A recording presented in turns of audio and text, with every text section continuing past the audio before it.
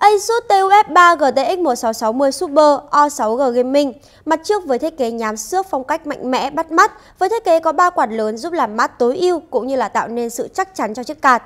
Kết hợp với công nghệ chống bụi Ibinamic hiện đại giúp tăng độ bền cũng như là việc vệ sinh card trở nên dễ dàng hơn.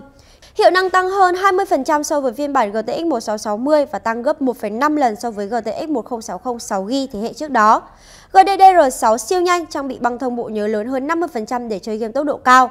Bên cạnh đó, Asus cũng thực hiện các thử nghiệm độ tin cậy, gồm thử nghiệm độ ổn định 144 giờ và chạy một loạt thử nghiệm 3D Max nhằm đảm bảo card vận hành tốt khi được ép xung chạy tới các giới hạn. Sản phẩm đang được bán tại các showroom của Hà Nội Computer với chế độ bảo hành 36 tháng.